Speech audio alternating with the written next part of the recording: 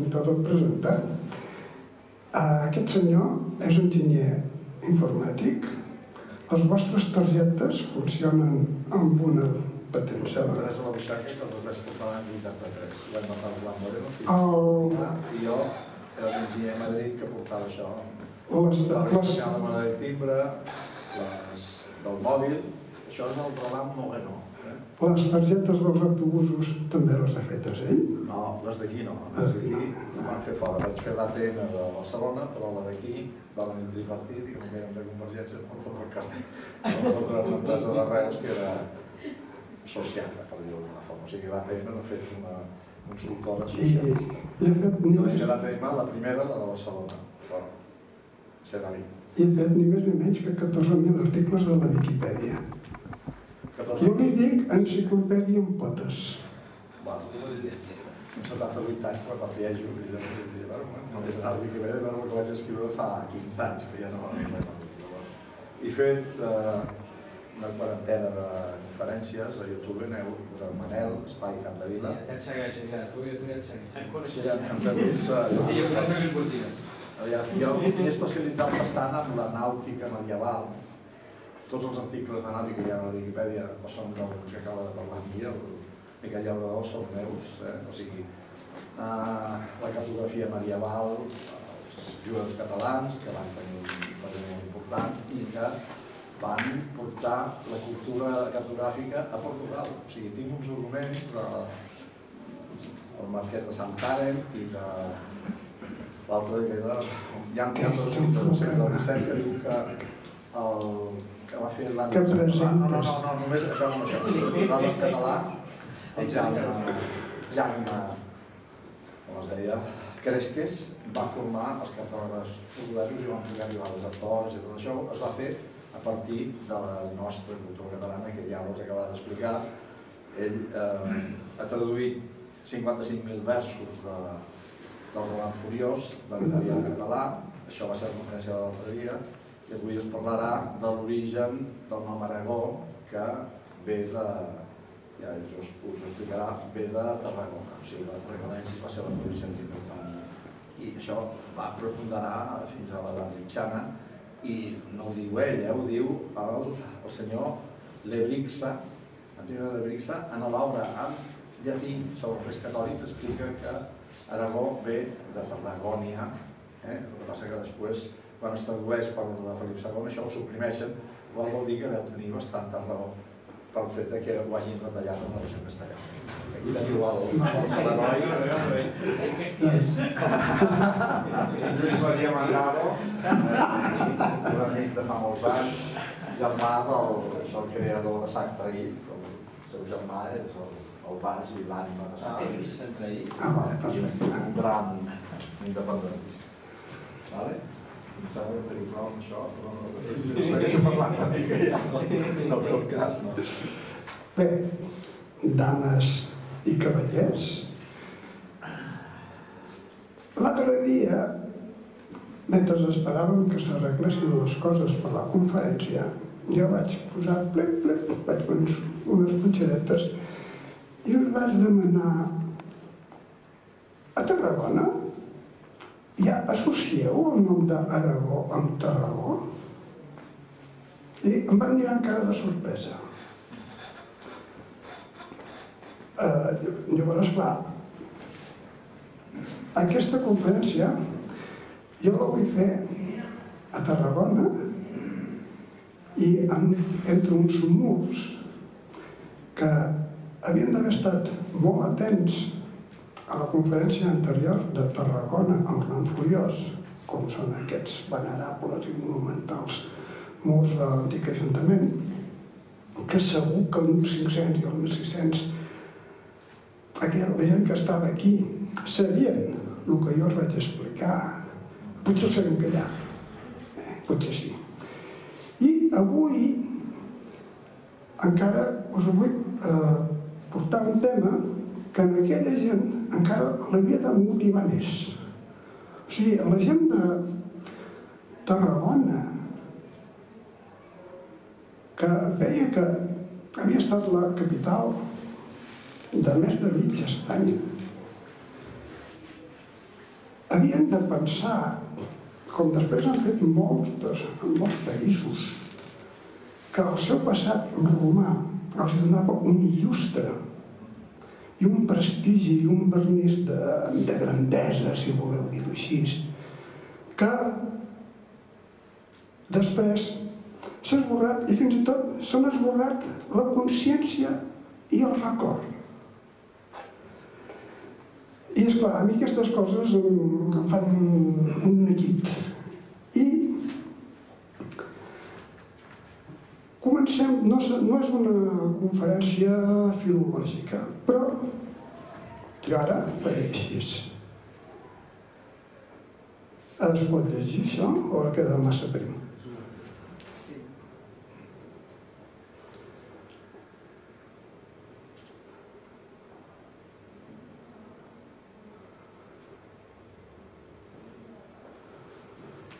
El nom d'Aragó és en el nom de Tarragona? Jo diria que sí. Com es deia en l'època, diguem, romana?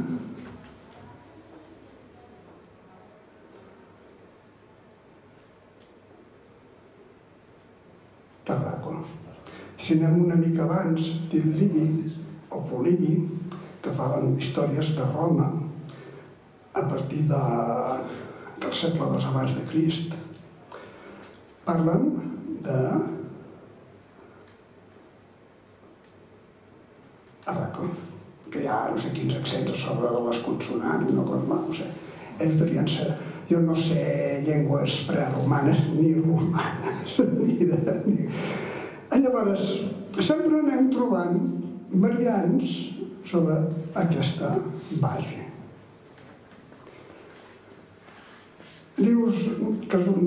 això no és casualitat, això va tot lligat, és a la mateixa població. Llavors podríem veure Quesse, no? O els cossetans, que diuen que hi havia Quesse i Tarraco, que si eren dues poblacions, o si era una, o si era un nom com Sant Sebastià i Quipus, no, no sé, no ho saben gaire. I dius, bé, això només és d'aquí.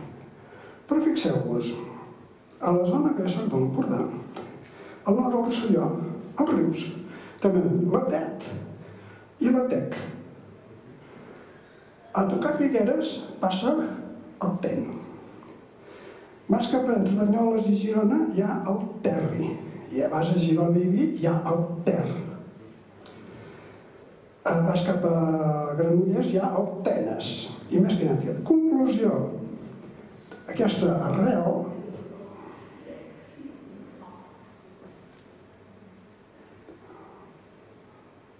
ter o tar, perquè a Narbona tenen el, el tarn, per exemple, i si anem, no és exhaustiu ni molt menys, deu voler dir riu, o aigua, o alguna cosa així. He sentit que aquí a Tarragona teniu una cova amb aigua, un llac soterrani, més si és l'explicació del nom. Eh? I Algona, clar, Barcelona, Badalona, eh, Narbona, Tarragona, Ona, Girona. Girona, Girona. És Ona de voler dir polis, city, ciutat, emmurallat, clos o alguna cosa així. Llavors s'ha de saber què vol dir gir o tar o bar, no? que tampoc no sabem perquè no sabem aquelles llengües. Què passa? Que a Navarra també tenen el, el Tera. I la font del Tera és l'Aragona, que van a l'Ebre.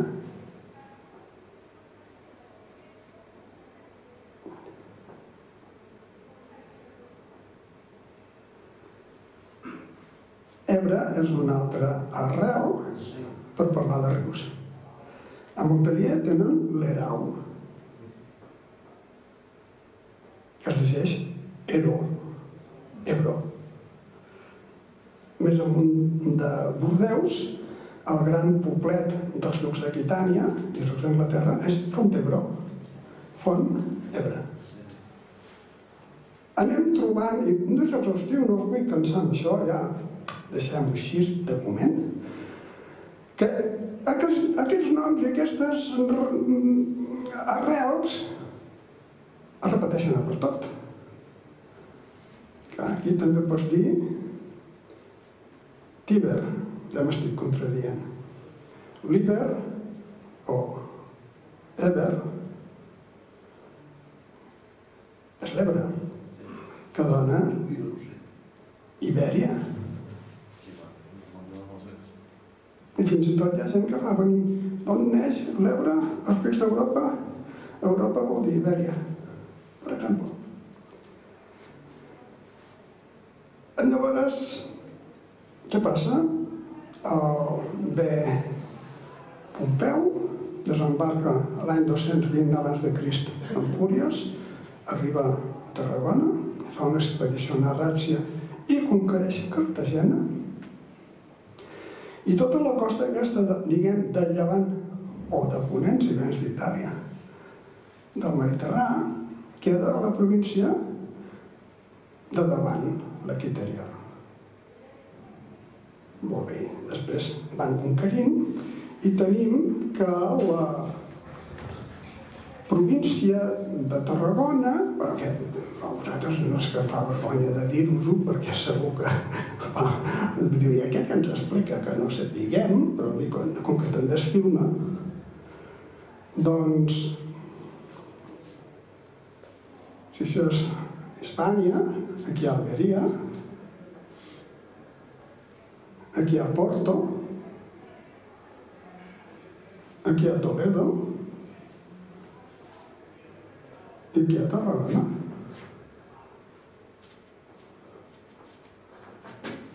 I fas així. Lusitània i Bètica. Però aquí ja comença a veure el que us explicaven abans de per què desapareix. A veure, si aneu a Sevilla o a Córdoba o a Cádiz, eh, nosotros somos béticos. Y soy del Beti. Vas a Portugal, són lusitans. Ara jo demano, si vaig a València i en aquella gent els dic, ei, tarragoní, què em diran? Si vaig a Saragossa i els dic, hola, ets, un, ets tarragoní, tu ets un... El Goya era un pintor tarragoní. Què em diran?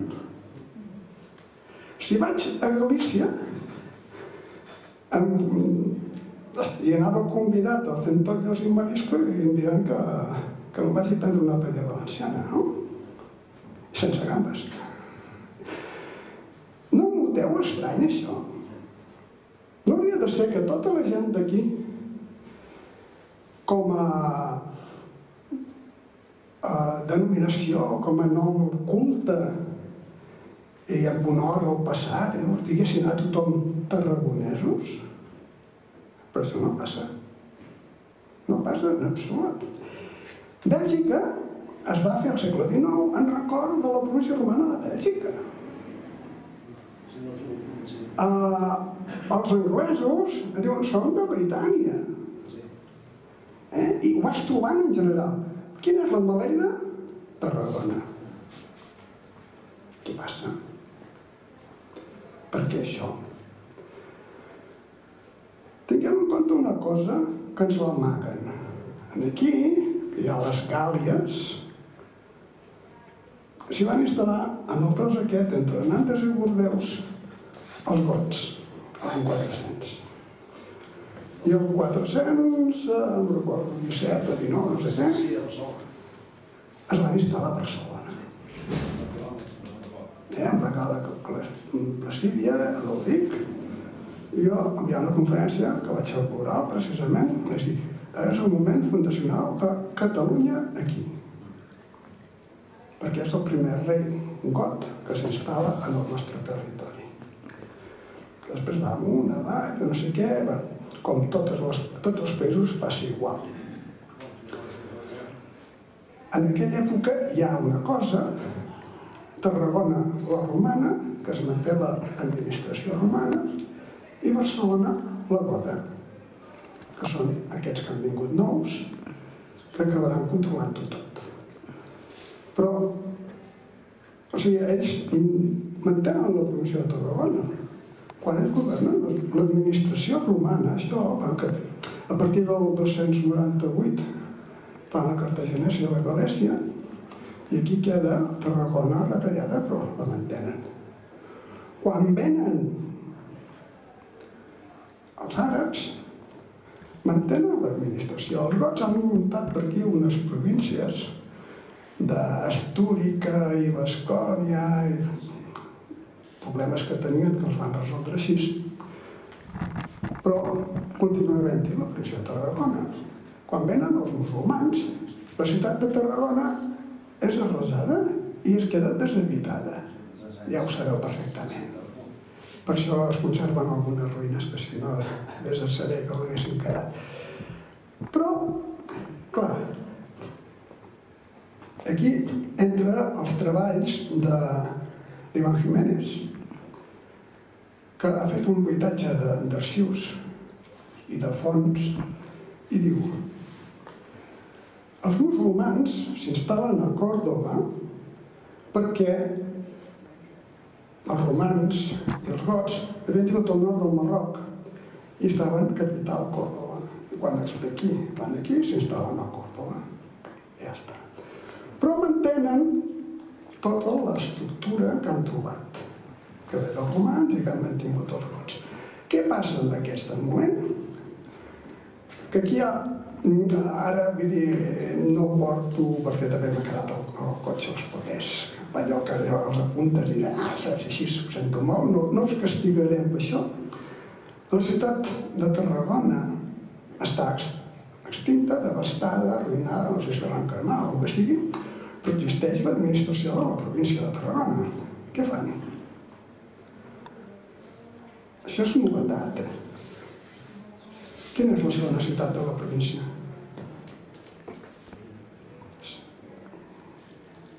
No, gràcies. César Augusta.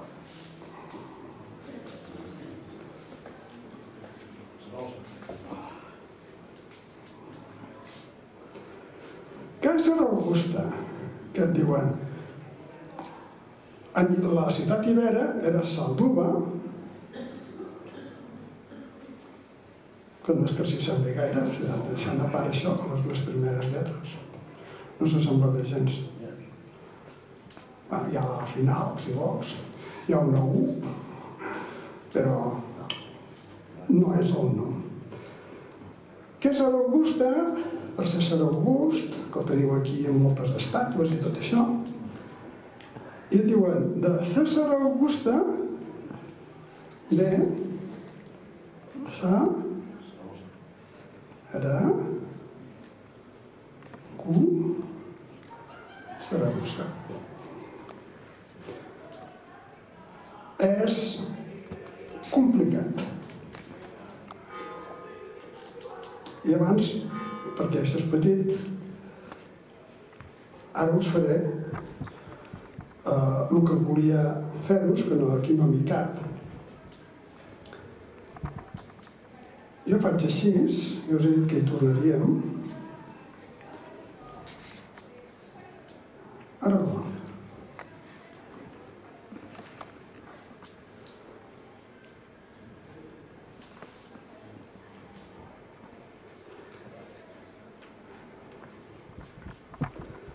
Saragossa, Deixa'm dir una cosa, hi ha Siracusa a a Sicília, que diuen, diuen. que és sí. el mateix origen, vull dir que s'assembla molt, eh?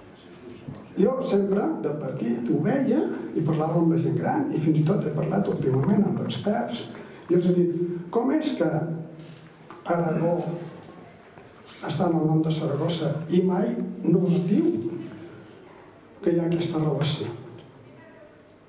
Gran misteri. És incomprensible, és innegable que Saragossa té això.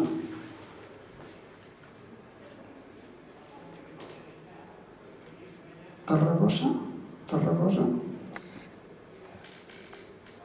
la Tarragosa com qui té un fil i fa la filosa, un sufixe, per dir el lloc on hi ha una cosa. Diu, no, és que és una T. Val, doncs fem-ho salat. Saragossa.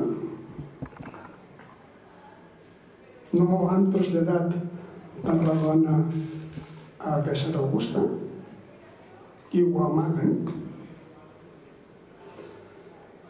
Saragossa. Jo havia pensat, mira, amb S salada i la terminació aquesta. I un dia em ve un senyor d'aquells que gràcies a Déu que venen i m'ajuden i em diu, però tu no ho saps, que en basc les T's inicials es diuen Tza. Saragossa. Ja ho tenim. Saragossa és Tarragona la nova o a la manera, capital a la manera de Tarragona. I què fa aquesta de ciutat? Uns senyors que no eren d'allà, que no li van donar el nom, i aquí és l'aportació, diguem, bàsica meva, uns senyors que no li van donar el nom a Saragossa, perquè ja és el nom que tenia durant l'administració musulmana, Saracusta, va ser, oh, serà pronunciacions. Aquí tenim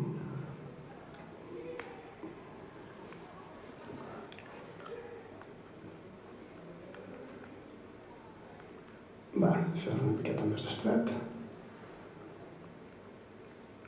Això és Navarra. Aquí passa el Tera i la Dragona. Agafen l'Ebre, aquí hi ha Tarragona, Barcelona, que és així en aquest moment, i Navarra, la meva teoria. Hi havia el record de que hi havia hagut Roma a l'any 700, 800 o 900, o 1000, o 1200. Tenien aquest record. Podia ser que un príncep o un rei pensés a ser el rei de Tarragona, de tota aquesta província enorme, que era el 60% del territori d'Espanya. Si jo sóc el rei de Tarragona, pot ser que jo acabi obtenint tot això. El rei de França, que acaba en un moment que només té París, com que sóc el rei de França, acaba conquerint tota la Gàlia. I ho fan, si estan 800 anys. Però ho fan. Si els senyors de Pamplona, que és Pamplona, fan una cosa estranya quan es mor un rei de Pamplona, que és un regne ibèric que té segles, que en la generació anterior arribava des de la Ribagorça i el Pallars fins a Castella, que agafava tot això, que havia estat, que es feia dir emperador, li ve un senyor del petit regne de Montsó, les coses dinàstiques, no es vull embolicar. Es moren aquests, aquest agafa la corona, plum, salta aquí. I què fa? Diu, soc el rei de, de Navarra, el rei de Pamplona. No. Tenien aquí un petit trosset, això són petits estats que tenen de, Ribagorça, Sobrat, Aragó, i tots aquests petits comptadets, que alguns diuen que són regnes, són quatre vaques i dos mil habitants, i em diràs quin regne podien ser. Ha un d'aquests, que és un fill bastard, que no li han donat ni, ni un estat, li han donat un territori entre el riu i el riu. Se'n va a Roma, trinqui, trinqui, paguen al papa no sé quantes monedes d'or i el fa rei rei d'Aragó, que a més ho té amagat, perquè el seu germà, el seu germanastre, no ho sàpiga que, si ho sap, li talla el coll. Això és Aragó. Doncs quan aquest salt de Pamplona, diu, escolta, jo no vull saber de Navarra, jo vull ser rei de Tarragona. Saps què? Aquí a Tarragona, perquè ara sóc rei d'Aragó. Soc rei d'Aragó amb una variant que sigui, només és un trosset d'osca. Aragó te'l pintaran així. O sigui, també a dins de Tarragona. I aquest Aragó, eh, que no té cap sentit dinàstic ni polític, ni sinó un, el nom. O sigui, compren i fomenten el nom, perquè aquest nom és màgic. O sigui, el nom de la gran província, del gran territori que hi havia hagut. Que esclar, si els a Pompeu ve el 220 abans de Crist. I aquesta província es fragmenta al 298 són més de 500 anys. Tot això d'aquí fins aquí 500 anys però l'imperi romà es cau, va caient durant els 400, fins al 475 o 78, bueno, no recordo, 78. I llavors venen els gots, aquí els gots, tot aquest tros d'aquí, des del Rodan fins l'Ebre, i fan els gots, no? Els borgonyons arriben a Borgonya, no, els borgonyons s'instal·len allà i és Borgonya. Els, els angles arriben a Anglaterra? No, arriben a Britània, però ara és Anglaterra, perquè hi ha els angles. Els llombards arriben a Llombardia? No, és la Padània. Ara hi som els llombards, això és Llombardia. El poble més civilitzat, que té més poder, que ocupa més territoris, no ha deixat una gòtia. Com es pot explicar això? Com podem entendre que no hi hagi una gòtia quan per tota Europa està ple de llocs amb els noms dels germànics que van entrar com a caure a Roma? Doncs gòtia, però aquí. Gòtia. Fins que al 1100, a època de la expedició de Ramon Berenguer III a Mallorca, hi ha un senyor Pissà, que parla de que de catalans. Ho vam mirar, ho vaig mirar una mica, van haver tres o quatre amics que em van aconsellar i em van dir, mira, catalans vol dir gots, en llengua goda. Per què? Venen de got, Gotland, bueno, clar, d'aquesta no, no es pronuncia, Gotland. Però per la llengua sueca o escandinava, o que parlés en aquell moment, s'havia de posar una aquí. I a sobre posaven una dieres així, que fa que les ossiguines agafeu un suec i diu, com es pronuncia això? Catalán! Catalans d'on venim? Que sí d'aquí, que no. Ja, el fil de poder, des de que arriba a Euric a Barcelona, l'any 410 o 14, ara, ara no me'n recordo, estic nerviós, el fil de poder, a part de l'excepció musulmana, sempre és got. Tots els nobles són gots. Tots els reis són gots. El que aquí sembla que s'hagi esborrat, però són els gots. I els que no són els gots són els tarragonesos, diguem-ho així. Llavors, dius, ah, que Catalunya no té res a veure, que no sé què, no sé quantos. A veure. És que, clar, si hi ha Cata... Catalú, serà Gòtia. Allà, no sé què, que, que hi ha la Borgonya, que hi ha la Gascunya... Ja. Aquests venen dels països escandinaus. I en suec, nou, s'escriu així. Catalú, Gòtia, Nova. Gòtia Nova, on l'han feta? Tarragona. Gòtia Nova de Tarragona, Gòtia Nova de Tarragó, Catalunya i Aragó. Que ens expliquen un altre origen, però potser aprofitant que el francolí passa per Tarragona, van fer un muntatge. Per què? Uh, ara ja hauríem de saltar a l'època de Ramon Berenguer IV. Automàticament, quan es parla de la unió, bueno, diguem, deixem-ho en unió de Catalunya i Aragó, a mi em fa riure. Hi ha uns, uns debats en, en la xarxa. Una gent que diu unes coses de el peix petit es menja la balena que, que quedes de pedra. A veure, Ramon Berenguer IV, el sant, va ser enterrat a Ripoll. Ja era que és la, el lloc on s'enterraven els comtes de Barcelona.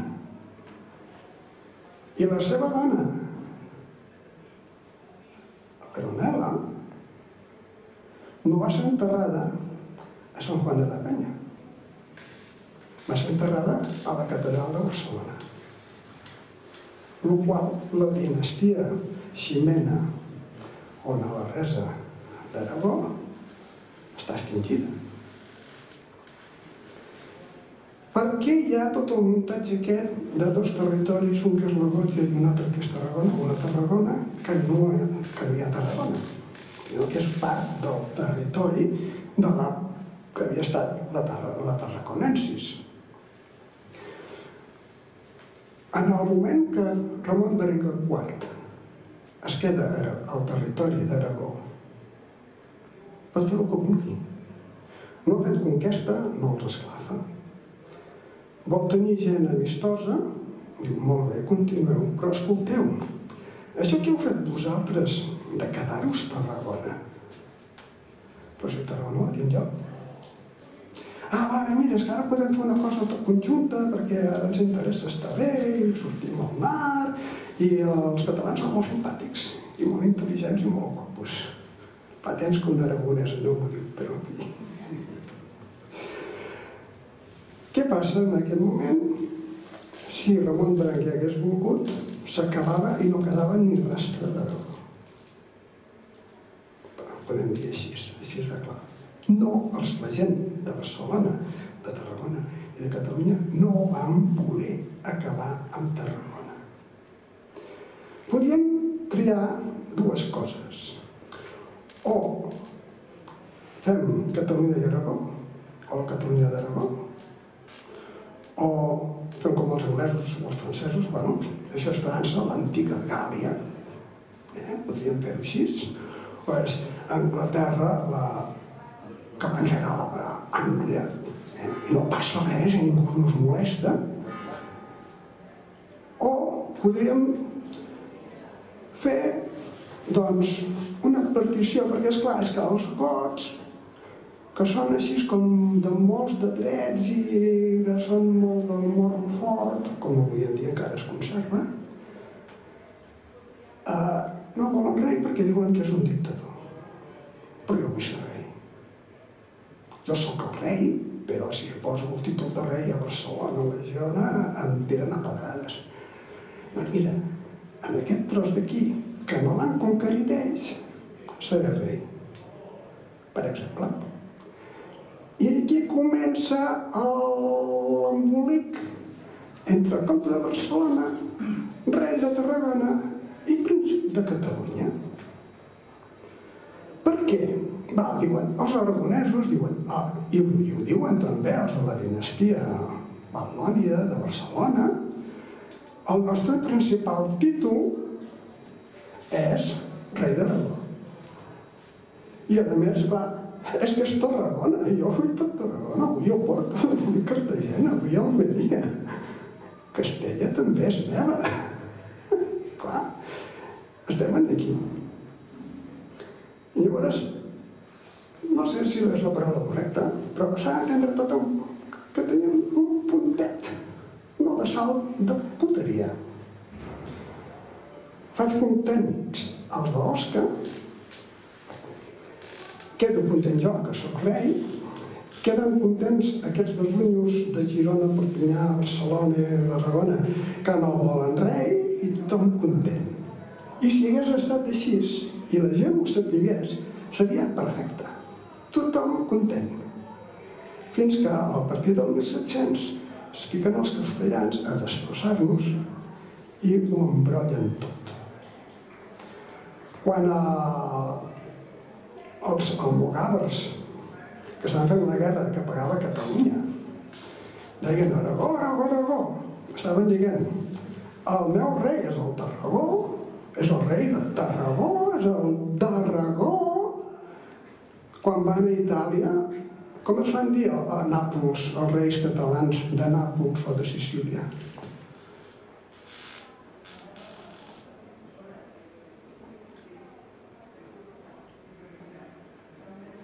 I la T i la D són la mateixa lletra. Es considera filològicament. D'Arragona. O sigui, el rei de Nàpols és un d'Arragona. El rei que hi ha a Barcelona és un d'Aragó, un d'Aragó. Pronunciat, si és que les pronúncies són diferents. Però, ja us dic, un punt de bateria.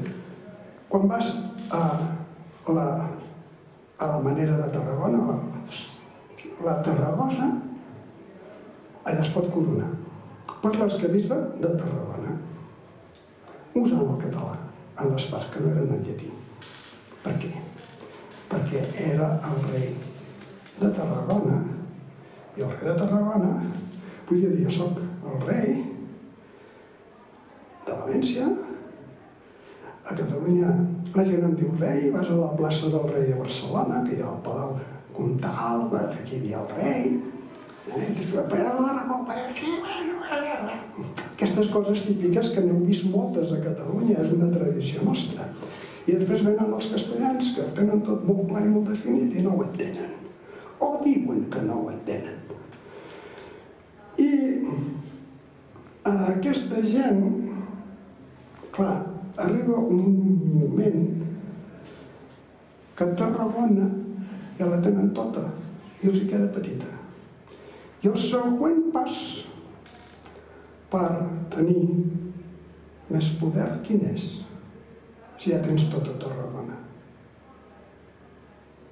Espanya. El moment que no volen ser de Tarragona ni d'Aragó ni res. Espanya. Que és un regne, un, una entitat que fins al segle XIX no existeix oficialment, però el 1500 ja es van dir res d'Espanya. O sigui, no és oficial, però es van dir. Però Catalunya era de Aragón. No. I el que diu això és que no té vergonya. Perquè veiem les realitats d'avui en dia, se li pot dir, doncs els teus avantpassats eren uns tiarros com cal, perquè avui en dia som un desastre als presumptuosos aquests. Se'ls baixa fàcilment el presumir. De què presumeixes? Fa 500 anys que, segons el que tu dius, si fos veritat, éreu grans persones. Aquí en el vostre territori sortia una gran potència i on la teniu ara? On la teniu? No us fa pena dir això? Com us atreviu a dir això? I a presumint és el que us he dit, la sardina es menja la balena. No pot ser. No pot ser. Oh, és que el títol de rei, tots els contadets catalans queden del regne de, del regne d'Aragó. A veure, Carles I d'Habsburg era emperador d'Alemanya, no? Llavors l'imperi espanyol i l'Amèrica de l'imperi espanyol eren alemanyes perquè Carles I és el rei d'Alemanya com que usa el títol d'emperador que és superior al de comte tot era d'Alemanya hi ha algú que s'ho cregui Si anem a Frankfurt ens ho diran. Si anem a Viena hi haurà algú que digui això. No s'atreveix, ni pensar-ho. Però hi ha llocs de, de la zona que us he estat parlant que cada dia ho diuen. És que no, es qualifiquen ells mateixos sense dir res jo, és que no volien botar la boca. Com poden dir això? I no només passa a Àustria.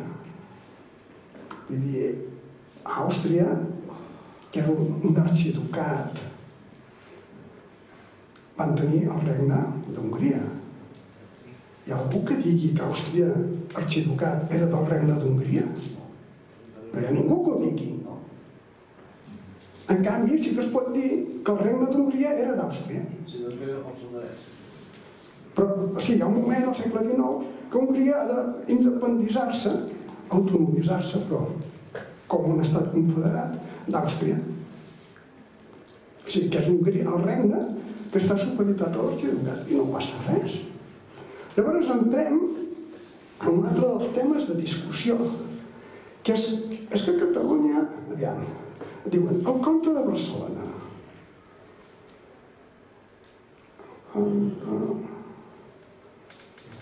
De Barcelona.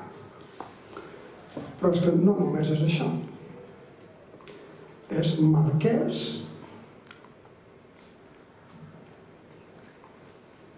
Marquès de què? De la marca hispànica. Marquès d'Espanya.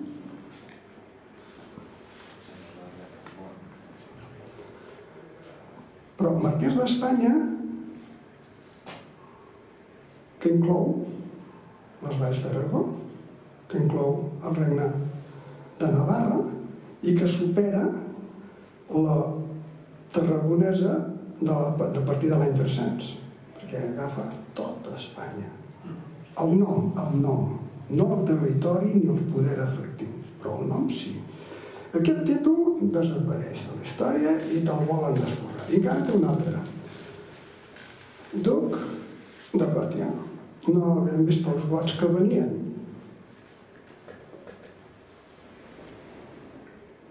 Qui els manava? El Duc de Gòtia. O sigui que si hi havia un got, un comte got, a Portugal, o a Astúries, o a León, qui el manava? El duc de Gòtia, qui és? Usa el títol, diuen, de comte de Barcelona, o bé aquí. Però a més hi ha un altre, un altre, un altre títol, príncep. Príncep de Catalunya.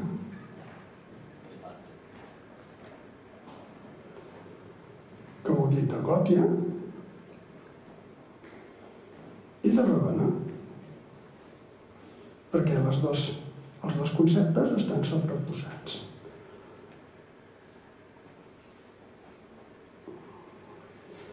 I aquest príncep no és com a les pel·lícules aquestes tipus Blancaneus. Un príncep és el fill del rei, que les, les noietes s'enamoren... No. Príncep, en el concepte romà de, de Juli César, per exemple, és el primer ciutadà, el primer diputat, el primer senador, el principal, el sobirà. O sigui, hi ha 300 senadors, però n'hi ha un que és el príncep dels senadors, que és el primer, el principal dels senadors. Hi ha no sé quants comptes, però n'hi ha un que és el primer dels comptes. Hi ha no sé quants regnes, i n'hi ha un senyor que és el primer de tots aquests regnes. Castella, Astúries, León, Galícia, Portugal, Aragó, són del príncep de Catalunya. Perquè ell és el primer que el, és primer que el rei de, de Castella, és primer que el rei de León, que tots eren a dins de la Tarragonesa. O sigui, la província de Tarragona, allà vaig directament a la província aquesta, aquí hi hauria l'altra. Clar, aquí hi ha Galícia, és un regne. Aquí hi ha Portugal, és un altre regne. Aquí hi ha Astúries, aquí hi ha Leó, aquí hi ha Castella, això és Navarra, això és Aragó, això és Catalunya i això és València.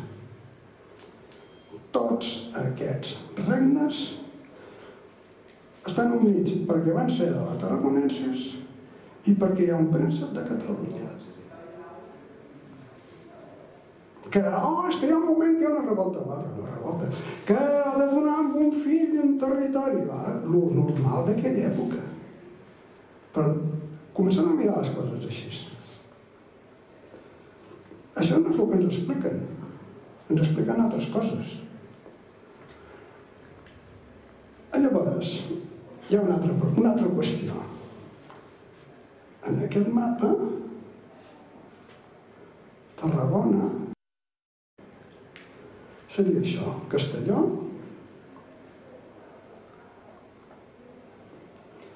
i posem Santander. I aquí Burgos.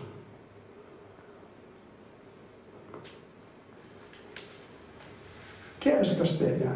Que l'inventen els catalans.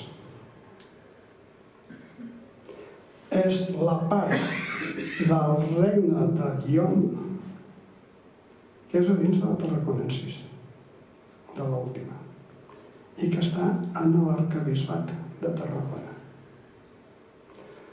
Aquí n'hi havia una Santiago, que jo crec que Tarragona era la primada, que Santiago i Cartagena i Toledo depenien de Tarragona.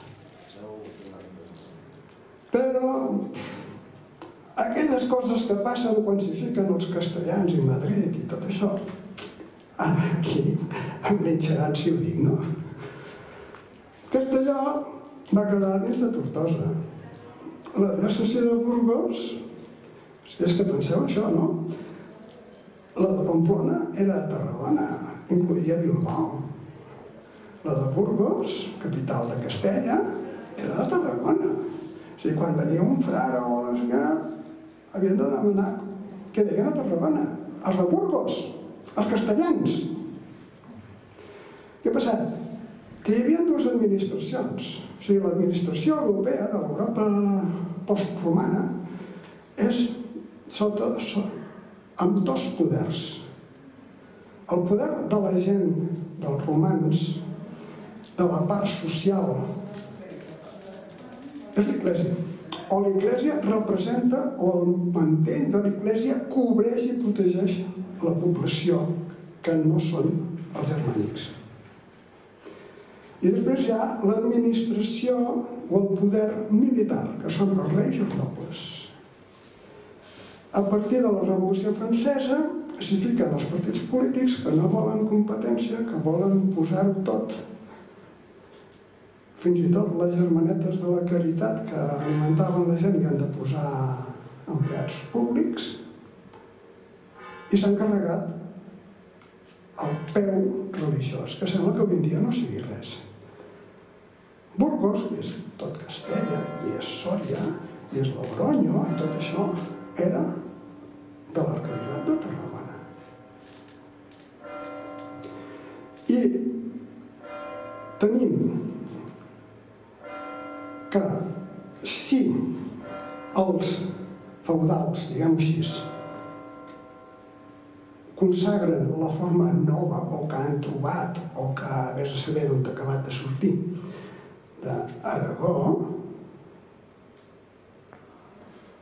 l'Eglésia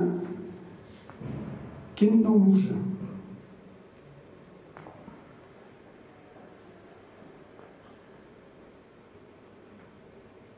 Tarragó. I aquí com acaben fent? D'Aragó. Llavors, clar, abans us he dit, si des de l'any 200 abans de Crist, eclesiàsticament fins avui, són 2.200 anys d'ús de Tarragó, i civilment fins a la nova planta, fins a l'arribada dels Borbons, Aragó anava així i així, amb Tarragó, perquè a Itàlia el 1500 i el 1600 s'està usant Tarragona. I per què dus allà si són, són els d'aquí, com van allà? si aquí es van dir d'Aragó, d'Aragó, i allà es van dir d'Aragona. Hi ha dos R's, eh? Llavors, què està passant? Que el nom, el prestigi de l'antiga província romana és tan fort que a Navarra es volen fer dir Aragó, però com que el seu Aragó eh, el troben en el que hem dit de Saragossa i se'ls hi podria dir no, Aragó és abans, o sigui, Saragossa amb Aragó és abans que el regne d'Aragó. O sigui, podríem dir regne Saragossa, però ja ens han muntat el regne d'Aragó i ara això ja no es pot desmuntar. Per això hi ha la diferència entre Aragó i Tarragó. Perquè en la zona aquesta d'aquí, de la frontera de Navarra, uns territoris que havien donat a un fill que, que era bastard, diguem així. Es va fer aquest muntatge. I llavors la capital, Tarragona, nova, que estava aquí, s'havia d'amagar. No amaguen el nom, però amaguen la relació i que Tarragona, la Tarragona nova, la Tarragosa aquesta, i és des dels àrabs, des dels 700 o 800. I aquí que volen fer des del 800-900.000. I tornem a l'Ivan Jiménez, agafa tots els documents que surten per tots els llocs de les primeres vegades que es posa el nom d'Aragó allà a tocar a Navarra i què troba? Mira, els més antics, diu, és un document de Sant Juan de la Penya. I què li passa? Que parla d'això. Però què passa amb Sant Juan? Que no estava fundat, que faltaven 200 anys per fundar-lo. Què vol dir? Que és fals, que va haver-hi un que li van dir crea uns quants documents perquè ens serviran per legitimar-nos. Però no sabia que Sant Juan de la Penya no s'havia de fundar encara fins al 1200 eh, mirant costat àrab i costats cristians i tot això, no apareix un nom d'Aragó, de regne d'Aragó. Per contra, quan el bisbe de Vic, ja fart de dependre de Narbona, que era l'altra eh, circunscripció de la Gòtia, l'altra capital romana que s'havien quedat els, els gots i que ara estava en mans dels francs. Diu, no, no, no, hem de fundar ja a Tarragona, això. Ho munta abans de la unió de Ramon Berenguer amb Peronella. O sigui, quan hi ha la unió aquesta, quan Barcelona es queda Òscar, és el que a la, pràctica va passar, Tarragona ja era de Barcelona, ja era catalana. I, oh, què passa aquí? Va, mira, ja ho arreglarem. L'Iglésia dirà Tarragona, allò de l'arcabisbat, vosaltres us farem un regne, però esclar, només sou Òscar. Oh, és que nosaltres amb, amb Alfons I havíem arribat quasi fins a Terol i a Godar i tot això, va. Què es troba? Ramon Berenguer IV que Castella, que havia estat de... una partició del regne de Navarra entre els fills de l'emperador, amb un li dona Castella i a l'altre li dona els territoris d'Aragó. Que neixen, doncs el germà aquest s'ha quedat al regne de Saragossa. Diuen, los condaditos catalanes muy fragmentaditos i el regne d'Aragó tenia el regne de Saragossa, i el regne de Montsó, i el regne de Sogarbe, i el regne de Ribagorça, que, queden quatre pastors allà que, que tenien 10.000 o 15.000 habitants, i que no, que és molta pretensió i molt poca substància. I què ha de fer Ramon Berenguer? Primer, ha d'agafar els legítims hereus del testament d'Alfons I d'Aragó, que són tres ordres religiosos, hospitalers, a Jerusalem, tots aquests així. I dic, a veure, mira, això no té cap sentit, el, país no accepta aquest testament, quan voleu. I trinqui, trinqui, trinqui, un sobre l'altre, per qui paga? Huesca o paga Catalunya? Primer els hem salvat, Després els hem rescatat, hem comprat allò. I no els hem dit que eren part d'aquí i que a partir d'ara t'aguantes, com altres han fet, amb gent que no ho feia. Eh? Això no es té en compte. I després d'haver fet això, se'n va en el rei de Castella i diu, escolta, això de Saragossa no, no és gaire... No, no anem fins per aquí. Saragossa era de, de l'herència aquesta que jo comprat i me, me l'has de tornar. I el rei de Castella, doncs, li torna l'ús, però no la sobirania. I fins que no es fa una operació militar, o sigui, es mou l'exèrcit català a Cuenca i Guadalajara, no queda alliberada Saragossa sobiranament. O sigui, tornem a pagar. Els d'aquí tornem a pagar. Oh, es que nosotros nos quedamos Catalunya. Aviam, però si Catalunya t'ha comprat, t'ha pagat i t'ha alliberat. És com un esclau que, que, que algú li paga la llibertat. Com pot dir aquell esclau que el que li ha pagat això és, és propietat seva? Com s'entén? Si és que no m'entenc, que no hi ha ningú que m'expliqui, i m'agradaria que m'expliquessin. I llavors, què ens trobem? Que en el llibre que vaig fer del CIT explico que tota la noblesa castellana, que és goda, són catalans, que són manats pel de Gòtia, i que el de Gòtia doncs, diu, mira, escolta, aquest de Palleugell, o aquest de l'Empordà, o aquest de Rosselló, o aquest d'Osona, doncs mira, si conquereixes aquests 30 quilòmetres, te faig un marquesat o un ducat. Jaume I, que se queda per qüestions hereditàries al comtat d'Urgell, en els que podien disputar-li el comtat, els ofereix terres, perquè eren portuguesos, els ofereix terres a Galícia. Com el d'aquí pot oferir terres a Galícia? Perquè era seva. Perquè era seva. I ara han sortit estudis que diuen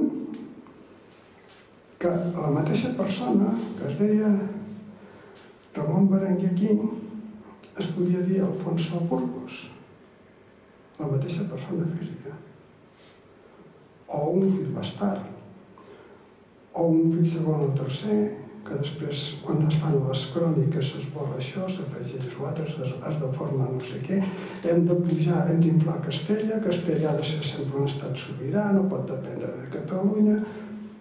Tot això s'està posant en dubte. Per què? Perquè tot era Tarragona tot era Tarragona. I quan Tarragona, els Urgell, des de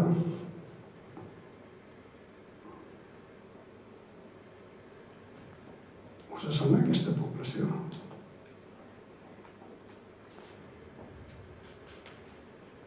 Això és un nom català. Valladolid és dels Urgell urgent. Com que no saben pronunciar, perquè hi ha dos o tres lletres que no saben pronunciar, diuen en urgent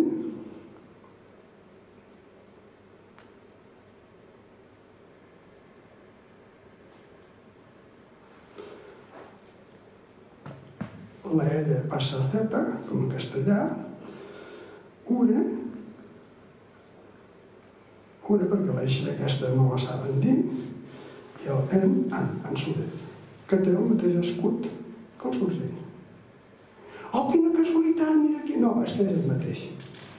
I els mongols, l'Orient, estaven a Valladolid. I des de Valladolid, què fan? Baixen fins a Olba, fins al mar. Fan la reconquesta. Reconquereixen Còrdoba, que era la gran capital, Jaén, Úbeda i, a la, i a Almeria. El Urgell.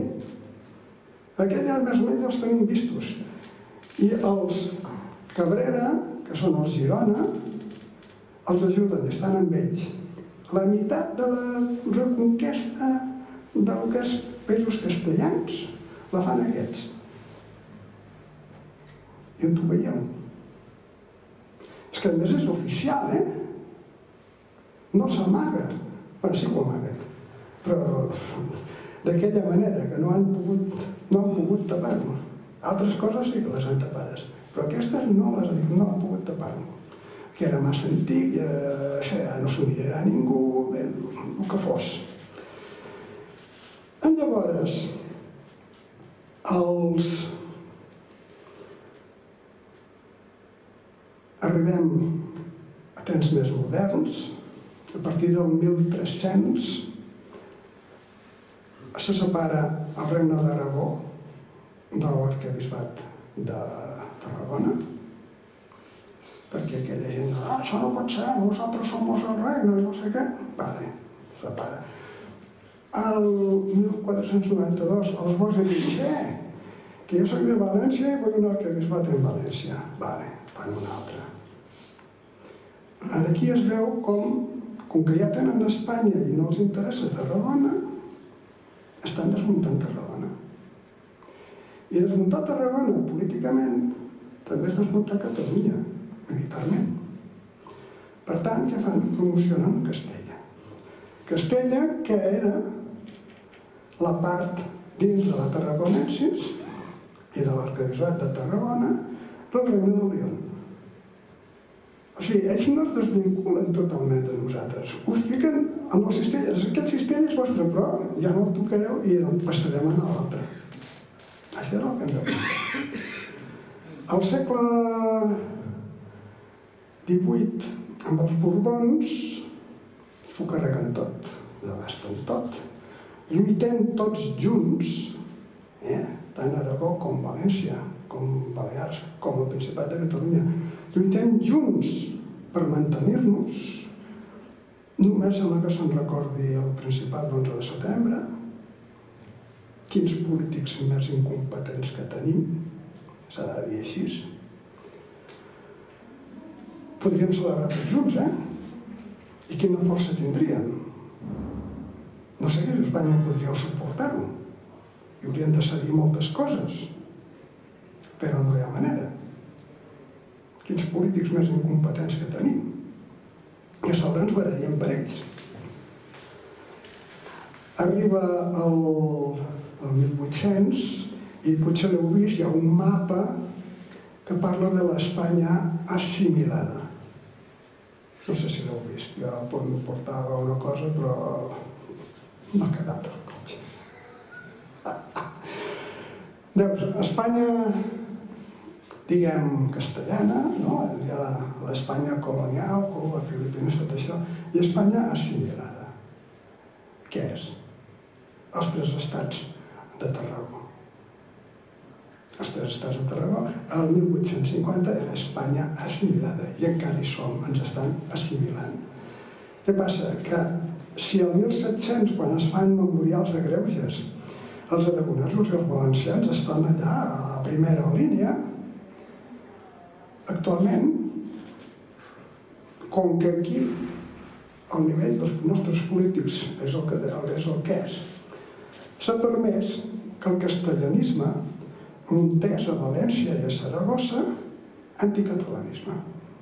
Anticatalanisme o antitarragonisme. I jo dic, si tot has de parlar de països catalans haguéssim parlat de refer Tarragó Aragó, hagués estat diferent. Perquè les coses que s'han dit contra els països catalans les podrien dir contra Aragó o Tarragona o l'Arcabisbat. La gent d'aquí, el 1400, quan feia una batalla, els almogàvers cridaven Aragó, perquè sabien el que volia dir. Avui en dia, per nosaltres, Aragó és una regió castellana que només pensen a ofendre'ns, que que s'ha arribat. I estan intentant el mateix a València. Però com que a València encara parlen valencià, diguem-ho així, doncs no, no fa el mal que fa Aragó. Però, a l'època de, o sigui, de, quan es van fer les constitucions del 1800, i va començar a sortir gent que rescatava el tema oblidat de la corona d'Aragó. Aquests castellans que s'estimen tant, els aragonesos, per exemple, com van reaccionar? Ara van dir la corona d'Aragón. La coronilla de Aragón.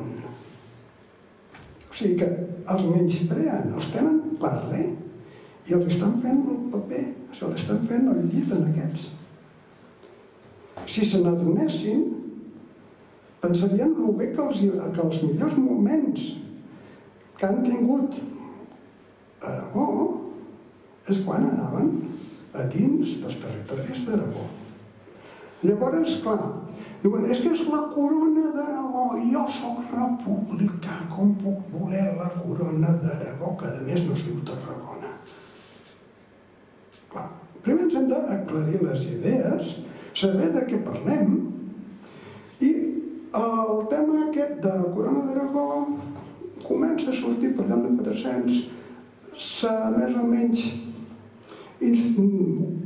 promociona Ferran Catòlic i sobretot Felip II, o Felip I d'aquí, que eh, té el seu censor que el fa historiador d'Aragó i fa los anales d'Aragón, que és el Florita. Eh, anales, o sigui, la història de la corona d'Aragón. I des d'aquest moment s'intenta fer això, però ja portava 400 anys que no es deia corona d'Aragón i havien tingut necessitat. Es deia Catalunya, o sigui, els que parlem català,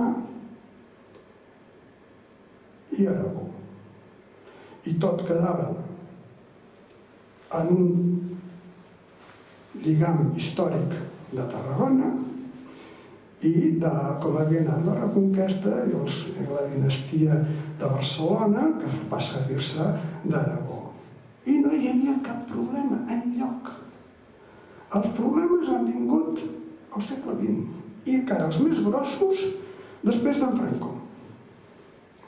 O sigui, a l'haver-se fet el sistema autonòmic, que no és el sistema, diguem, foral o dels estats assimilats, sinó que són unes descentralitzacions de la Gran Castella, s'han creat tots aquests problemes, perquè no es pot permetre que aparegui el que si volen dir Corona d'Aragó o Corona de Tarragona, que ho diguin. Vull dir, això no vol dir que hagi aquesta corona, nosaltres que som tan complicats i sabem fer tantes construccions, podem tenir una república que es digui corona, per exemple. No passa res, això és un nom, és un símbol que podem arreglar a la nostra conveniència. No ens hem d'estripar les vestidures i si hi ha algú que té una bona idea que la digui, que potser ens resol els problemes i no sé si ja he mirat de no, de no omplir-vos de dades que sí, aquest va fer un testament o una renúncia, un compromís, un... tot això fora. Vull dir, jo crec que l'os, el moll del problema que hi ha amb el nom de Tarragona i d'Aragó i de Corona d'Aragó i que si era de l'un o si era de l'altre, els, us ho he explicat. Ara, si teniu algun tema per demanar-me, doncs miraré aviam que no m'acribilleu Eh? Miraré de contestar-vos.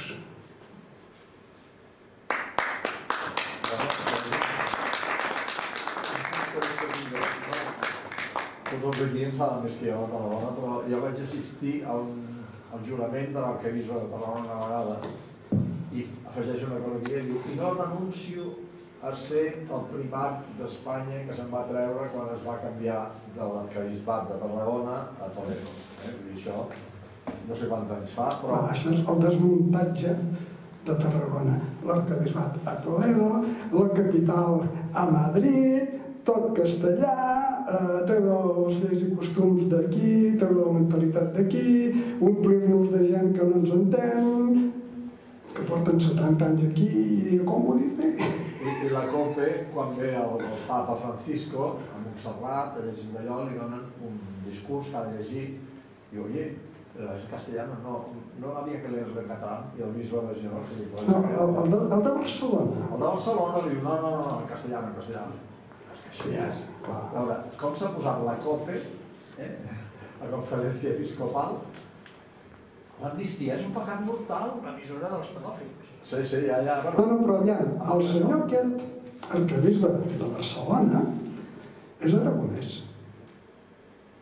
I té molt a veure amb el problema de Sixena, que és veí entre catalans i aragonesos. Eh? No, els importa un ple l'obra aquella, importa l'escàndol, les notícies, la gent emprenyada, això és el que volen, que, que ni ens parlem. I aquest senyor que va córrer molt per, per, per lo de Sixena en comptes de fer-lo del que bisbe de Saragossa el fan el que bisbe de Barcelona. I a Barcelona, quan es fa una cosa, es fa en castellà, que no és ni aragonès, si és que l'aragonès ha desaparegut. I que ens venen a donar lliçons a nosaltres de patriotisme aragonès o tarragonès. Bueno, sabem que l'aragonès ha donat origen al castellà. O sigui, el castellà és un aragonès mal parlat, eh, això. Sí, sí, però no és, no és aragonès. A la, com és aquella gramàtica de l'Obaina, ho explica, que diu hi ha una llengua que parla al poble que està molt empaltada d'àrab i amb el hamarají, hamarajá, aquest so, això és àrab total, eh? i no ho volen reconèixer els castellans. Eh?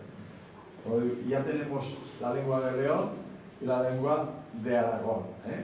sense ser català, hi ha un aragonès, jo tinc un, Joan I el Caçador, eh, té la seva filla que a la casa, però està amb els, a la, a la cort francesa, és el que regala l'Atlas de Cresques en el príncep de França, no? I quan li envia això, li envia una ampolleta, que és totalment catalana, eh? Els francesos no sabien fer ampolletes, que és amb el rellotge que es navega, es pot arribar a Amèrica perquè has de saber quant temps navegues en un rumbo determinat. Ampolleta és una paraula en castellà catalana. Jo m'he hagut de treballar amb el termcat perquè sapessin ampolleta, que és una paraula catalana, amb el sentit de navegar, perquè quan fa 10 anys, ampolleta, vaig veure la Wikipedia, quan es donava ampolleta, diu el termcat, en petita ampolla per guardar les espècies a la, la farmaciola o la cuina. En canvi, en en Colom navegava amb ampolletes, que és, allà en castellà hauria de dir botellites, no?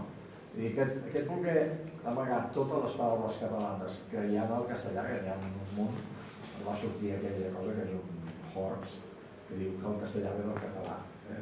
Evidentment no ve del català, és un, va, es va fer un muntatge i tal, però el, el castellà ve d'una llengua que es parlava al nord dels Pirineus, que era aquest occità que ell va trobar, avui no n'ha parlat, però va trobar eh, el català que es parlava a tota França, en època dels nets de Alemanya, fan els juraments d'Estrasburg i estan escrits en tres llengües, en llatí, germànic i una llengua que és un català antic, clavat, eh? Vull dir, els francesos diuen Oh, ça c'est le vieux français.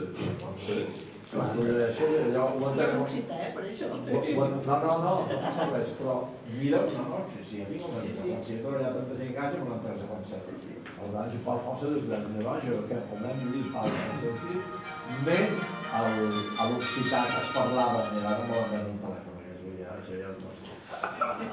Uh, no, no, estic en continuament per prendre. El que va trobar en Lluís Maria dels juraments d'Estrasburg és que tu mires i allò eh, no, hi ha aquesta llengua arcaica que eh, Ricard de Lleó, fill de l'Aquitània, passa a ser rei d'Anglaterra, però ell, els trobadors troben en occità, no troben en François, eh? Vull allò és occità pur. I precisament eh, la llengua, si mireu, hi ha poemes de Ricard Cor de Lleó, bueno, és que Alfonso X Sabio no feia, ell diu que que no es podia fer en castellà, ho feia amb la llengua de galego-portuguesa, que també s'assembla bastant, amb les efes, amb... tu mires el gallec i té molta més semblança amb el català, amb l'occità, amb tot això. Però és que mm, Ricard Corelló ho fa en paitubí. Jo tinc molts amics que es diuen paitubí. Paitubí és la llengua del Poitou. A Poitiers, que és el lloc on arriba la, la, la fletxa mora i eh, Charles Martell, que no es diu Marteau, eh, sinó que es diu Martell. Eh? seria francès, no que vulguis, però tenia un nom que era més occità, que en, en, en, en, francès eh, Martell es diu Marcó. Eh? Vull dir, no, han acabat agafant tot el Poitou i l'han anat posant, que era Llanguedoc, eh, perquè es veuen tots els poemes de Ricard de és Llanguedoc total, eh? l'han anat fent petit, fent petit, fent petit, van, van haver d'emigrar, en, estava barrejat amb l'època de les guerres de religió, la guerra bueno, els, els Guissa i els, els i tot això, i es parla coitubi a estats determinats d'Amèrica on hi va haver migració del Poitou fins allà. I encara avui dia han, han anat passant de pares de fills i segueixen parlant el coitubi. Coitubi és, és occità. Jo en català, tot el mateix, hi ha unes diferències, hi ha unes coses... Passa que allà durant les, la guerra dels cent anys i de les de religió del 1600 van haver-hi unes matances tan grosses que es va repoblar. I va venir molta gent que no era d'allà. No, no, ara el, el diuen que ja va bé, però esclar, però és que no parlen la llengua de Ricard Cavalló, que ell deia, ell diu a Sudalló, diu, parlo el paitubí. És que ja és el sum. Clar, és que la capital anglesa dels, dels Aquitània era Paitús, Poitiers, que en diuen. I no sé si heu estat a Poitiers, però hi ha uns edificis oficials gòtics i romànics que n'he vist pocs, eh? El Palau de Justícia i la catedral i les tres o quatre... Hi ha unes esglésies que són quatre vegades Ripoll. Aquí? No n'havia sentit a parlar mai. I és una ciutat impressionant. Bueno, després hi ha, hi ha un moment que ja, això no hi has arribat a dir, però vull dir, França en un moment determinat és només l'Ile de France. Crec Montferrat, tot això, tots els voltants, comença una expansió que el 1213 acaba amb la batalla de Moret i ens treuen del sud de França, que els comtes de Barcelona tenien vassalls, eh, el de Foix, el de... Bueno, podien ser eh, comptes de Provença, fins i tot. Els grans sobirans, diguem, romans, perquè jo dic que totes aquestes llengües són, és el romà, són els romansos. Són els romans, que no és ni francès, ni castellà, ni italià. El que hi ha al mig, que, ah, si és, si és, si és provençal, si és aquità... No, romà. Des de Venècia, el friolà, sentit per la friolà. Doncs els grans sobirans que hi ha allà. Audiu, I el, el, el, el milanese, tinc amics a Milà, i quan torna a parlar el milanese, és molt Hi ha coses que no s'entenen, eh? però si l'has de lligar amb alguna llengua, és amb aquesta llengua que ell està parlant. No? Que hi ha un Alives Cortés que diu que no ve del llatí. I això és una, és una cosa, aviam, i és la versió oficial. La versió oficial diu que les llengües romanes no venen del llatí, sinó del llatí que parlaven els soldats, que parlaven el poble, això és la versió oficial. Però és que diuen que aquest llatí venia del llatí. I Alives Cortés diu, sí, sí, és això que diuen, però aquesta llengua no ve del llatí, perquè la llengua, el, el llatí és una llengua desinencial i les romances són les llengües preposicionals. Com pot canviar una... Mira, jo us dic una frase... Tenen declinacions que nosaltres no tenim. Sí, sí, no, no, és que en llatí no hi ha articles. és que un text en Les llatí declinacions, No, no, sí. es explica, els hi dic, els dic no s'entén. En canvi, en- entendràs l'italià, entendràs el portuguès, però el llatí no que l'entens. tinc una frase i en perdó, la, me la posaré a mi mateix, mater mea mala puta est. Què sembla que digui això en llengües romances? Mare és una mala puta, no? Això vol dir, la meva mare menja pomes podrides. O sigui, mi ma mare menja de pom pourri. Uh, la meva mama menja melle putte. En italià el que saben és que malla i melle és el mateix.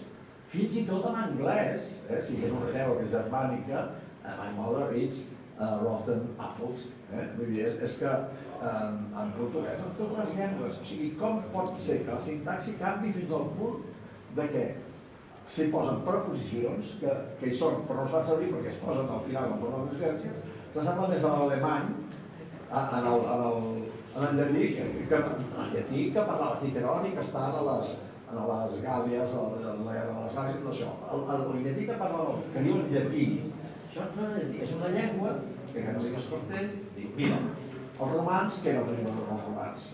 La guerra. Com es diu guerra en totes les llengües romances? Guerra, guerra, guerra, guerra. Com es diu en llatí? Bellum.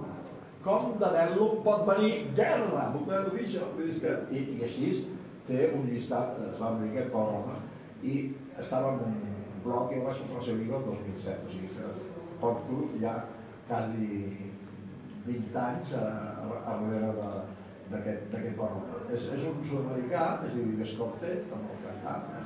però fet a França, i els, els filòlegs castellans li foten un text de mil paraules, mil paraules castellanes i 990, és dir, un percentatge, són d'origen llatí. I amb això li demostrem que el castellà ve del llatí. El tio no diu res, agafa mil paraules angleses, els hi mil paraules angleses, de les quals 990 venen del llatí. Diu, el seu silogisme, l'anglès, ve del llatí. És, és, és, és, o sigui, que hi hagi una influència. De totes les acabades en això, els que hem estudiat, ja no sigui jo, però els que heu pogut practicar, quan aprens que els acabats en això són els azione, azione, assau, acció. Tenim 1.906 paraules que, amb excepcions, però el cos d'aquestes 1.900 paraules són les mateixes de totes les llengües, però és que els he mirat en lituà, també hi són. És una llengua eslava, en, en maltès també són, en maltès acaba amb AG. Totes ja, abans que se'ns passi tard, hi ha algú que vulgui dir alguna altra cosa. Ah, vale, Després no, et no, deixem. Després et deixem. Hi ha un document capdalt, que és la renúncia de Saragossa, del 1137, on Ramir II dona eh, Ramon Berenguer IV a Aragó i a la seva filla Peronela. Sí, Suposo diu, que- obeïu-lo com a mi mateix. Exacte. Suposo Sí. que ell no va anar a la contra perquè devia complir la paraula de, ja com ho donen, no? Però amb la condició de que, Ah, amb una condició, eh, que fos el rei on fos, eh? Ell no és mai rei del món. Li dona la corona perquè regni el teu fill, el fill que tindreu. Però ella tenia 6 anys al moment Ah, d'aquesta... però escolta, Però aquest a caballo regalado no le mires la dentada, eh? Sí, sí, però... Perquè passa a ser príncep d'Aragó. I I el príncep d'Aragó està, fins i tot, segons la definició romana de príncep, està per sobre del rei. Ah, domini. no, és que el príncep és que era el fill del rei. No, no, no. El príncep, com Juli César, està per sobre dels reis. I llavors, clar, eh, aquest, el René II té un problema, que el testament del seu germà diu que si no compliu aquest testament, mateu en el que en l'usurpador. I Està, és un usurpador per la meitat dels seus súbdits. I això és guerra civil i invasió castellana. Jo em baso en el que sé, potser no. Sí, sí, no, però clar, Però sabeu la Ja. campana... no, sí, jo no, li- no us ho nego, eh? Jo, jo que soc de Salou i tinc eh, allà on visco jo, està ple de, de banyos, eh, doncs això és una guerra constant. I, Clar. Mireu, aquest, la renúncia de Saragossa no cal Parlament, perquè diu dona. Dona Sí, sí, que també la dona. sigui rei, sigui príncep, sigui el que vulguis. Però més hi ha una cosa, el testament aquest, que és que se'l salten, si és com, eh, mira, eh, algú diu, dono aquesta taula a l'Ajuntament. I ve el, el, la casa d'aquell mort, diu, doncs me la quedo jo. No, és de l'Ajuntament. No, me la quedo jo perquè sempre he hagut a casa. És de l'Ajuntament, segons el testament, legalment. El papa, que és el que dona la, el que fa d'ONU, diu que aquell, que aquell frare transformat en rei no és el rei. La filla d'aquest rei usurpador no és reina, però el de Barcelona ho accepta, perquè per un costat s'entén amb els legítims hereus i després a la pràctica que no li surti algun, algun tirat al monte que diuen eh? Uh, aviam, mel, tota la mel, tot l'oli que vulguis, em quedo la nena, te fas tot el que vulguis, eh? però amb una condició, aquesta nena només tindrà fills de mi. No pot tenir fills de ningú més perquè no surti d'aquí 200 anys un príncep d'una branca dient que ells són els legítims reis d'Aragó. Aquesta nena que no surti de casa meva, tancant a casa. Va, estic exagerant. I això és molt important perquè en aquella època va aparèixer un senyor que deia que era Alfons I, que havia mort a la batalla aquesta aquí a Tocafraga, que havia mort allà, i tothom ha dit, el rei és mort d'aquí. Va sortir aquell senyor i dir, jo sóc Alfons I. I va portar uns mal de caps de pel·lícula. I si comencen a sortir usurpadors, il·luminats, predicadors, eh, cosins de eh, no sé què, eh, fills de no sé qui, reclamant la corona, desastre. Aviam, jo he comprat el regne amb els meus calés i la que podria portar algun fill que m'ho discutís la tinc a casa. I el meu fill serà amb ella i ella només tindrà fills amb mi. I punt. I quan ella es mor, 50 i pico d'anys, eh, ara tocar a, a Borgo San Dalmazzo, que era Provença d'ell, perquè no només era el sobirà, el príncep de Catalunya, també tenia Provença, eh, que el piquen els mapes sense posar el que tenia el Barcelona. Tenien la Provença, tenien la meitat del Llenguadoc.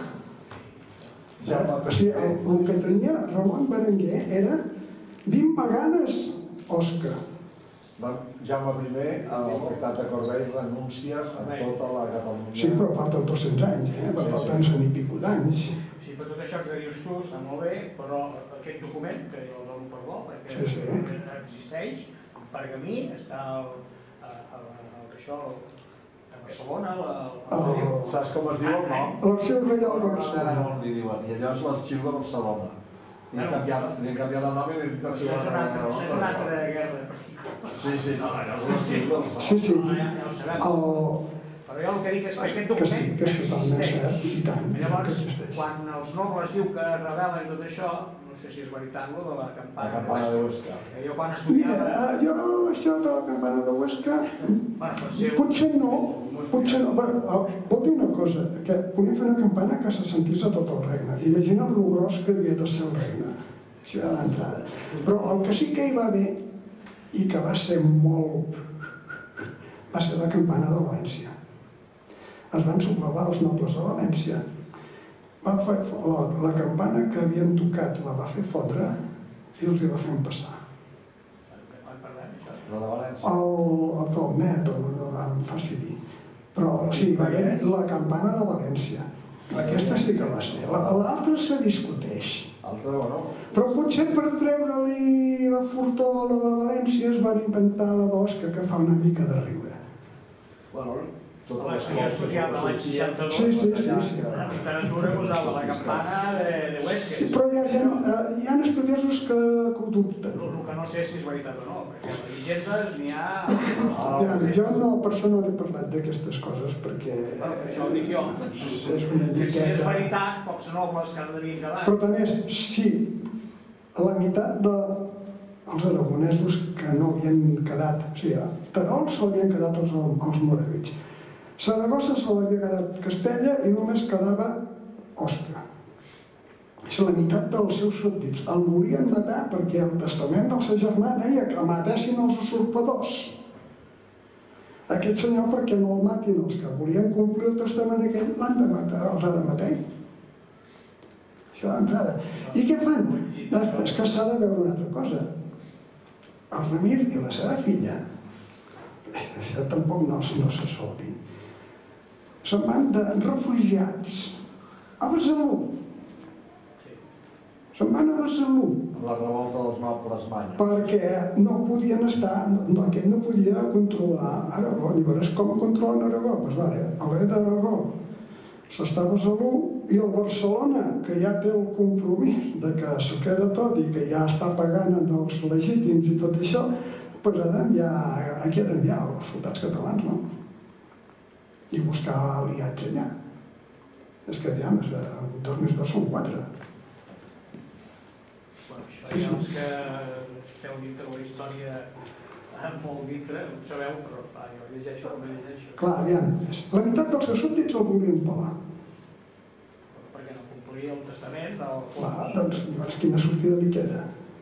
Matar-los o anar-se'n i buscar un primo de zumo sol que li arregli els problemes. És que no hi ha més. Tot i que la germana de Ramon Berenguer era reina de Castella, Per això va poder entendre's en Castella, perquè va anar en el seu cunyat i va dir, escolta, això, això d'Aragó, jo he comprat l'herència, m'has m'has de tornar a Aragó. L'altre, bueno, bueno, mira, saps què? Eh, vindràs el dia que coronem el reis de, de Castella, hauràs de venir tu el teu fill i portar una espasa dreta davant de nosaltres obrint pas a la cerimònia. Ah, li va regalar.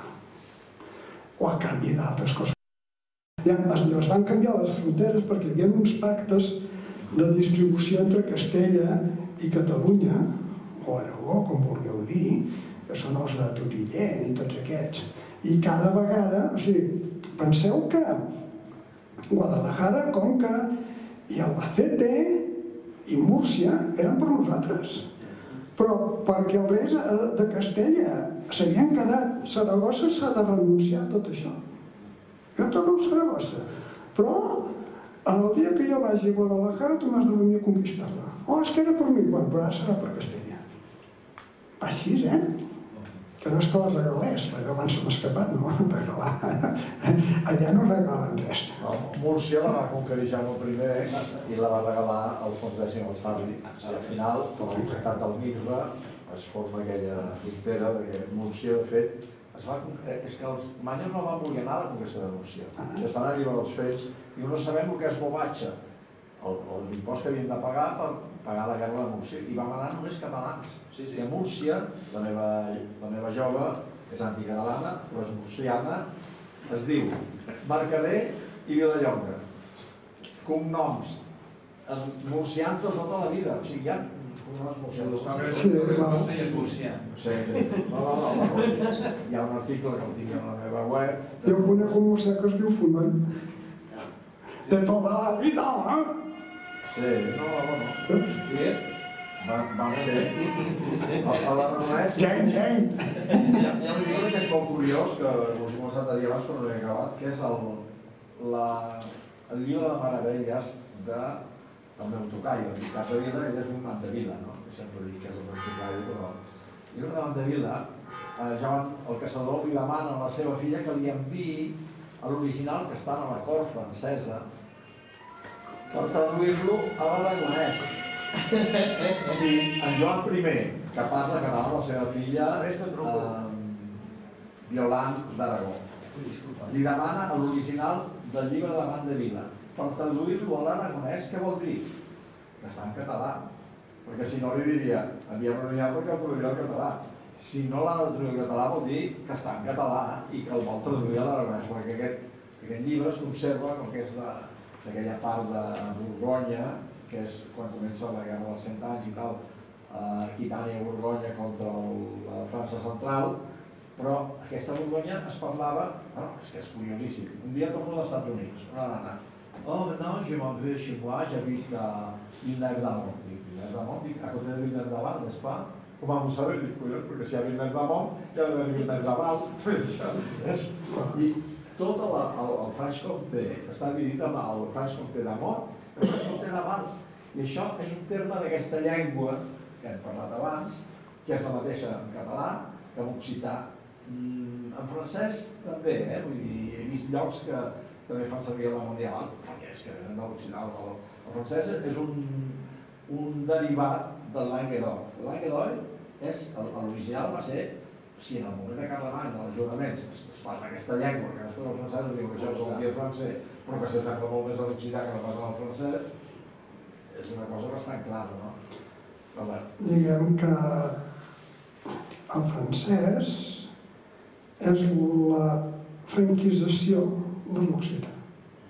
O sigui, eh, els francs que van entrar, sobretot al nord de França, de la Loire cap amunt, van influir molt en el romà aquest que us deia. Llavors, clar, no sabien dir les R's, i ara parlen d'aquesta manera. No? Eh, clar. I en comptes de dir sí, els alemanys diuen ja, i els francesos diuen oui, però si són de molt amunt, llavors en te diuen ua, segons el dialecte. Eh? I els alemanys diuen eh, auch, els francesos diuen o sigui, i nosaltres diem també. No? I tot va així, bé, no, no vull entrar en coses pesades, eh? però vull dir que sí. Eh, Però ha- el que és curiós és que quan els normands, que en principi eren vikings, accepten aquesta llengua francesa, quan conquereixen eh, en, en Hastings, que conquereixen Anglaterra, i teniu un anglès que en l'escut de dalt posa Mon Dieu et Mon Droit. Amb, l'ordre d'Enric I, que perd la seva que havia perdut la Lliga Cama i es posa la Lliga Cama a ell, diu On hi soit qui va li pams, o sigui, un rei normand d'Anglaterra, o sigui que, aviam, l'anglès ha tingut aquestes acabades amb això i moltes paraules d'origen romà, perquè els romans van estar fins al mur d'Adrià a dir vora.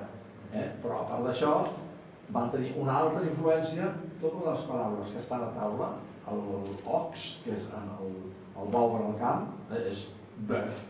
Eh? Sí, aviam, això m'ho va explicar, no sé si eres tu o era un altre, va dir, mira, a Anglaterra, en anglès, l'animal viu es diu en germànic i l'animal mort de taula es diu en francès. Sí.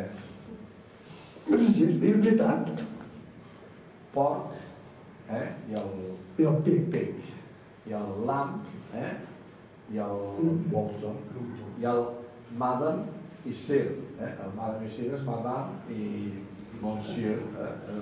O sigui, hi ha coses que estan agafades directament del normand. Però bueno, hi ha un moment amb les lleis de mar, que el llibre més important és el nostre consolat de mar, això ho vaig parlar l'altre dia del Museu Marítim, i el previ és Le Rol de Leron, que és una illa que està davant de... Era, era feta per Leonor d'Aquitània. Leonor d'Aquitània, això ho porta a Anglaterra. Però en quina llengua es porta això a Anglaterra? Hi ha, hi ha, hi ha un tio que es diu Davis, que fa un estudi del Black Book of the Admiralty, i va comparant tots els punts de les lleis angleses no amb els, amb els rols de Lenon, sinó amb el llibre de consolat de mar en català. O sigui, teniu un llibre que es pot descarregar a Google i estan totes les lleis que ara manen el millor és tot això, perquè el, el llibre de consolat de mar ha donat origen satèl·lita la tira d'idiomes i tal. I que el Davis, que fa un estudi del rol, part dels rols de l'Oleron, però el text no el posa en, en occità d'Oleron, sinó en català, clar i català. Vull dir, va posar els articles de consolat de mar en català. Mira, ara ell no se'n recorda, però un dia me truca i diu, escolta, l'acte de Constitució de Pamplona, Ah, sí. saps en quina llengua està escrita? El document que està en el- a l'arxiu de contos, o com ho diu? De contos, l'arxivo de cuentas, en, en, en navarrès, A Pamplona. eh, que és, perquè eh, s'apuntaven tots els diners. Ja.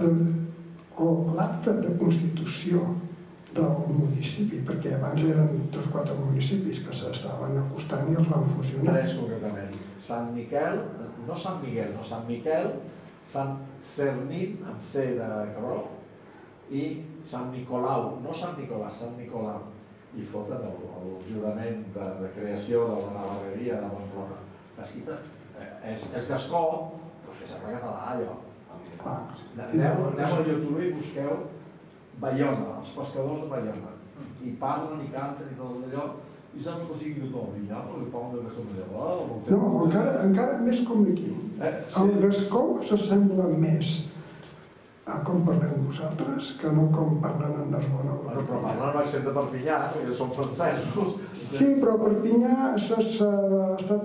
perquè s'han afrancesat, és com... No, però, Però- però es pot parlar, parlo d'aquesta manera. no? Sí, ara, avui en dia. Però tu-. Jo he estat a Bayona, i parlen com aquí. Sí, L'únic que passa que les Fs són Js. les Fs són jotes. Són... Uh, què és, què és acó? Harina. Ah, sí, sí. No és així. Farina és... Harina. I què has? A fer pa al horn.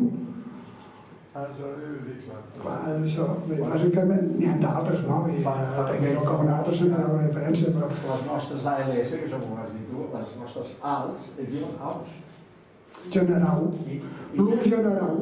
que això és, ha, ha passat al francès també, que ells no diuen AUS, sinó que diuen, ho pronuncien amb els seus termes, el O, però els, al, els Alps, en occità és els Alps. I hi ha una dita que és, no li busqueu tres peus al gat, eh? que s'ha traduït en castellà per tres pèls al gat. Però en, tre, en tres... Eh, no, és al revés, és tres pèls al gat que s'ha traduït tres peus al gat perquè ells la L la fan un. I és que per als cromosomes X i Y, amb un gat només hi poden haver-hi dos colors. Per tant, a tota Occitània, que és un país que els gats són molt coneguts, jo vaig conèixer quan lliure, la senyora francesa diu, no, és que el chat-là, diu, Comment vous savez que c'est une chatte Parce qu'elle a trois couleurs, et la trois couleurs, c'est une chatte. Sí, allò que tres tipus, tres tipus de pelatge. Sí, i això, Llavors, en això diu buscar, buscar tres pies al gato. I és, s'abarallen tots els castellans i a veure tot això, i si ho estudies en occità, això, en català, de, de, del Rosselló, és buscar tres pèls al gat. Però llavors la cosa no és ser un punyeter, allò que està buscant, que, que complicat, aviam, un argument impossible. No, aviam, la frase vol dir, és nen o és nena? És viu o és mort? S'ha mullat o està sec? Està trencat o està sencer? Vol dir això. Buscar tres pèls, o sigui, és dir, és, és mascle o és femella? Vol dir això. I ara aquí el sentit que li donen els castellans és una persona que busca complicacions, que és com És- tot difícil, no? De fet, és buscar que sigui un gat i que és un gat quan es veu clarament que és femella. Entens? Allò és segur que és femella i buscar-li els tres pèls al gat, no, és gat, és gat, i té tres pèls, és impossible que sigui gat. És parlar d'una cosa impossible, quan També. se sap, tens una prova claríssima, que, que és la frase del tres pèls al gat, però no, no, no, és buscar-li cinco pies al gato. El, el, tots els castellans, com que no en tenen, no, no fan aquesta traducció. Perquè no saben d'on ve. Sí. No, no té explicació, no té explicació. Per tant, d'aquí trauríem que el Quixot ho va escriure en català. I Mira, no sé qui m'ho va dir dins de nova història, sembla, no sé si era en Mariola o un d'aquests, ja a meterse en camisa de once varas. Ah, sí, això és molt. Eh? Que, de què ve? Ficar-se en camisa, en camí de once varas, dotze vares. O sigui, complicat, ai, no passa, no, no, que no pots ficar la camisa. Posa tu si et fiques allà. Quedaràs més regarrinxat que no sé què. tant, que l'enzavada ve d'Amèrica, eh? Ja. Que hi ha escriptors que han fet, eh, bueno, no sé, posen un moro al 1450 i mitjó i havia unes atzavares, com es diu atzavara en castellà? Pites. Bueno, eh, posen l'atzavara abans de l'arribada de Colón d'Amèrica i és impossible perquè l'atzavara és americana. És d'aquestes coses n'hi ha, N'hi ha unes quantes. i el, el blat de moro, el blat de moro, com se li pot dir blat de moro, si el van portar d'Amèrica. dir, Aquesta també és molt... El blat de és Sí, sí, sí, sí, sí, El panís, el panís, panís no és aquest panís gran, és aquest panís petit, eh, no importa gaire cultura. Sí, bueno, fa, un, no el, el panís, bueno, és que aquest, eh, en francès li diuen le sarrasin. És le bleu sarrasin que si aneu a... Sí, és però de sa- moro, el sarrasem és una lleguminosa diferent. sí, sí, és una lluminosa, però a, veure, les creps, si està a Bretanya, i la, les creps eh, en farina blanca eh, són dolços, però et menges tot en, en farina de sarrasin. Eh? En- Què us sembla? Teniu més temes? Sí, una pregunta. Jo conec un noi, i treballa també, que és aragonès, i de Barbastre, i vaig voler aprendre aragonès. Me va dir ell que, bueno, que amb el tema aquest d'Aragó i Catalunya, si no el parlen, no, no, algú, van fer molt amics i tal. I sí, m'ha dit que ell que actualment parlava, no sé si eren unes 30.000 persones o... Sí, molt poc. Era la, la També hi ha una, Pau, també hi ha una emissora. la Pau, el Lipau, el Pallau... Hi ha una emissora local que parla aragonès em va dir que no sé què hi ha aragonès que es parlava abans i que sí, jo parlava bé, jo parlo aragonès i sí, sí, me parlava i... en fi, no parlava. No, no, si sembla, sembla bastant. Ja parlava, ja parlava, parlava, parlava. Té coses que s'assemblen. Sí, sí, però... Muy no, però, I ell com va vindre aquí no, no sabia català i pues, va, és, és un home ben divers, un No, sí. i ara parla, jo li ensenyava també l'ajudava i tal. Sí. Però va ser, Sí, diu, no "És se'ls hi posa- Si parla no se'ls hi aragonès. posa el xip, Sí, s'entén a partir del castellà perfectament.